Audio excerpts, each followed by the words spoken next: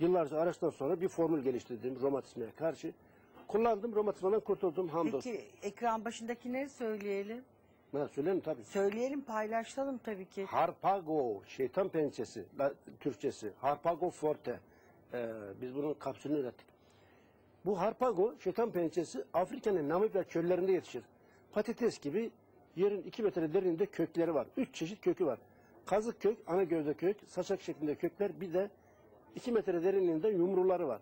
Bunun birleşiminde harpagozit denen etken bir madde var. Her türlü romatizmaya karşı etkili. Geçen söylemiştim ya, burada bilgi var, belge var. Profesör Doktor Kubrinski.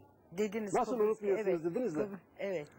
Ha, yıllardır araştırıyoruz, okuyoruz, takip ediyoruz. Unutamayız, unutamazsınız. Unutmamak lazım. Çünkü bu benim işim. Nasıl ki beyefendi Şarkı söylüyor. şarkısını unutuyor, makamını, hangi makamını nasıl söyleyeceğim?